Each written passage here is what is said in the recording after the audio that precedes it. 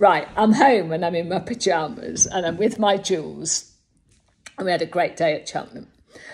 And we've just looked online and there's a whole blooming thing in the Daily Mail, talk about a setup, about how I've been cozying up to Matt Hancock um, at the races. Jules and I, almost alone on the terrace outside, it's such a setup.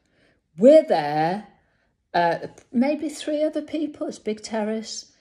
And then we're looking out at the course, tap on the shoulder. Hello, my name's Gina. And then I turn around, it's Matt Hancock. Hello, my name's Matt. Hello, I'm Matt. I went, oh, hello, I'm Carol. This is my friend Jules. What are you meant to do? You're in the royal box. You can't call them a in the royal box, can you? So, uh, so she said, oh, Matt, I said, I did, are you into racing?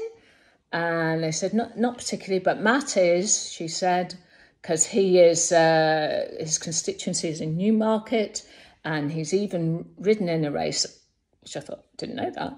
So I said, well, that's interesting because we were at Sandown last week, weren't we, Jules? We were. Um, where there was uh, amateur jockeys, military amateur jockeys.